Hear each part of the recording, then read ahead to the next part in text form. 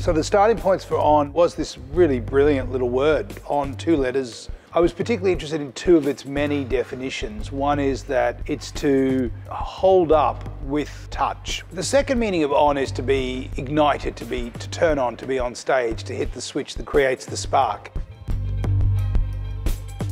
We've been in the gritty, granular stage where you have to get the show to a point where you can run it, and we're about to do our first run through. And that's also the time when you have to work on the show architecture to figure out if what you're running is right. We don't necessarily work with narrative, but we definitely work with encounters. So subtly, everybody has a duet thread throughout the show.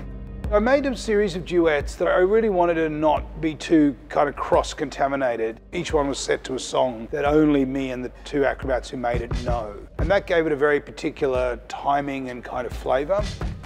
Lighting in circus is about locating bodies in space and shaping those bodies and how we perceive them. And because the bodies keep reconfiguring, then the lighting keeps reconfiguring. Basically, it's about generating energy.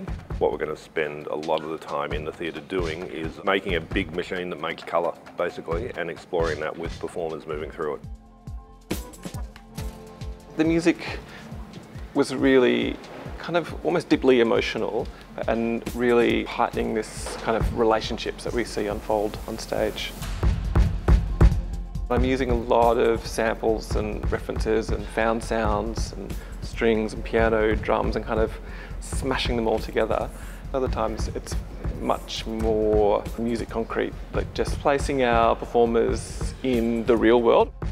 We'll be running a scene and at the end of it, Yaron will talk with Jethro and they'll make changes to the music as we go. So we're able to rerun the scene with a completely different atmosphere. And so each time we, we perform, we get a deeper and deeper level of what it is to create live. And it's been really, really fascinating to see it grow. For me, shows are not ideas, they are essentially like organic things that, that exist. And the whole process is very much something that is continually moving and developing and growing. If you're in the room yesterday, it may not be the same as it is today, and it definitely won't be the same as it will be tomorrow.